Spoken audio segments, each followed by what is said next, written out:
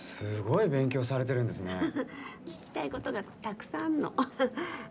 あそうそうこの支度金10万円もらえるんでしょ？はい。何に使ってもいいの？そうですね。これは基本的に自由にお使いいただけるお金なんで、えまあ旅行とか美味しいものを食べるとか本当何でも好きに使ってください。ご褒美みたいなもんね お葬式代に充てるって方も中にはいらっしゃるんですけど。あ それじゃつまんないわね。あそれからなんだっけな。ああそうそう。この合同プラン？これどういうことなんですか？